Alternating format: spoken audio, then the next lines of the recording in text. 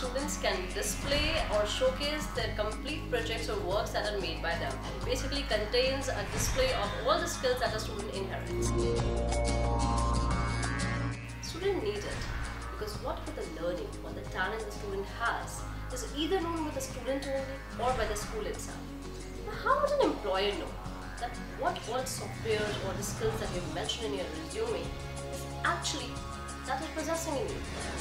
For this, the employer would require a portfolio. A portfolio wherein you will be projecting your best of the works done so far. Be it the software, the creativity, the talents, all you have, you need to display it in a particular prescribed format.